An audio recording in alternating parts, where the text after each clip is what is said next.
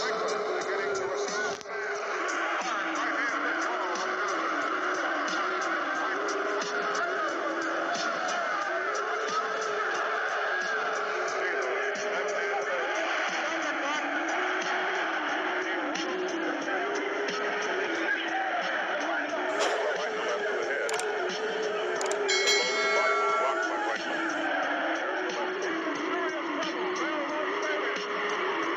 Ya sobat olahraga tinju di mana pun sobatku berada Jumpa kembali di channel kami.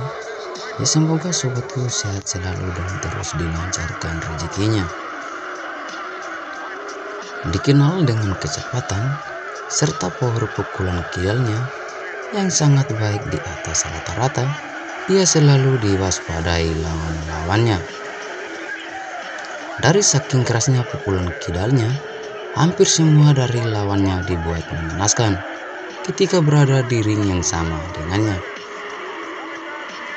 Jadi adalah Devrianto Palulu, petinju yang lahir dari daratan Nusa Tenggara Timur tepatnya dari Sumba Timur. Seperti di laganya kali ini, ia membuktikan kalau dirinya adalah salah satu petinju terbaik dari daratan Nusa Tenggara Timur. Di mana dalam laga ini ia melawan petinju dari India. Meski Palulu di laga ini sangat kesulitan memukul jatuh lawannya, namun ia berhasil membawa pulang kemenangan atas petinju India itu. Saat itu, kelincahan dari petinju Indonesia Devi Palulu sangatlah terlihat dengan kecepatannya serta bergerakan membuat lawannya sangat kerepotan memukulnya. Hingga pertarungan itu berjalan seru dengan aksi jual beli pukulan dari kedua petinju. Jelas, pasang mata yang hadir menyaksikan langsung laga ini membuat mereka sangat terhibur. Ronde demi ronde berganti, namun stamina dari kedua petinju masih terlihat prima. Apalagi pada laga ini Petinju Indonesia Devri Palulu yang tampil menyerang membuat lawannya lebih banyak melangkah mundur dari serangan Devri. Sampai pada akhirnya petinju Indonesia lah yang keluar dengan kemenangan angka mutlak. Meski ia tak mampu keluar dengan kemenangan KO, namun kemenangan ini menjadi salah satu kebanggaan baginya dan para pecinta tinju tanah air.